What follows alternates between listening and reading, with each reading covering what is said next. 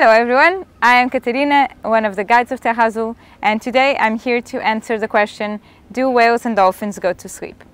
So most of this uh, question has been researched with captive dolphins uh, or captive animals, which just happen to be dolphins all the time. Uh, so the, in whales, we just know from observational data, not from uh, physiological measurements. But we know that dolphins, they do sleep, but they sleep in a different way than we do. Because we go into what is called the REM sleep, so we go into very deep sleep, and they don't really do it like that.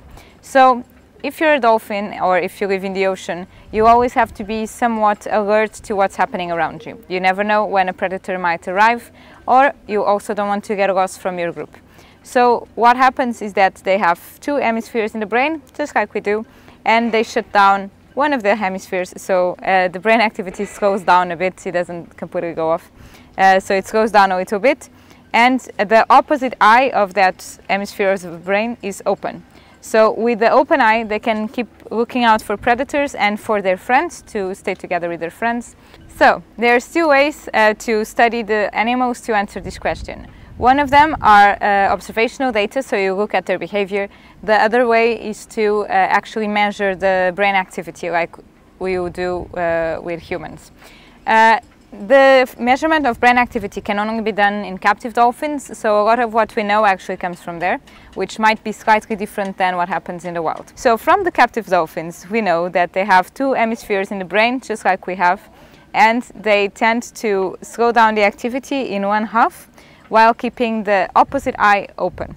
So they are still able to follow their group and to see if there's any predators around and also to remember to keep breathing because uh, uh, dolphins uh, breathing is conscious. They have to think. It's time to come back to the surface um, and so they never really really fall completely asleep. Uh, and they stay in this state for a few minutes and then they wake up and they move again and maybe they'll go uh, and start um, changing the halves of the of the brain that they use. Um, in observational state, that corresponds to a state where the dolphins are very quiet. They always move. They don't really stop swimming. Uh, they're very quiet, staying at the surface, and uh, for a few minutes they're just like that. They just look like they are floating. And then they move again, and they start swimming a bit faster until they go back to this state. With baby dolphins and mothers, they seem not to uh, sleep so much because they always need to keep uh, in touch with each other, um, especially important in that stage of their lives. But it looks like as well, the bigger the animals, the more they can actually uh, sleep. So with whales, once again, we don't know so well how their brain is working, but uh, humpback whales especially, they are seen just floating like a log for hours. Uh, they can, boats can approach them and they don't move at all. So it seems like that the bigger the animals, the less they have to be maybe concerned about predators and so they can stay for longer periods of time in that um, slow activity in the brain and uh, so they sleep a little bit like that.